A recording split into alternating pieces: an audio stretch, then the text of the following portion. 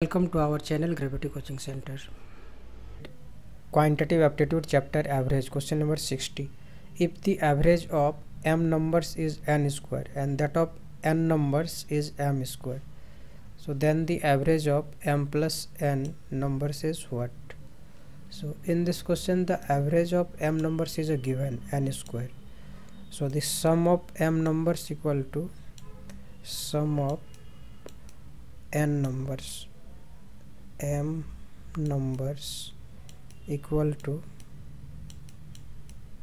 n square into m equal to mn square.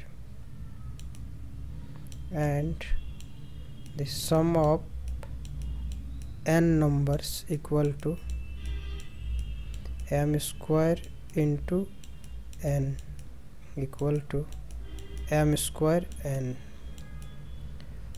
so the average of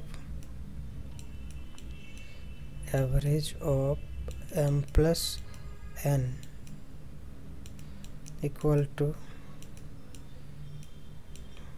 numbers equal to sum of m numbers plus sum of n numbers. So m n square plus m square n upon m plus n. So now we take m and n as the common. N plus m upon n plus m.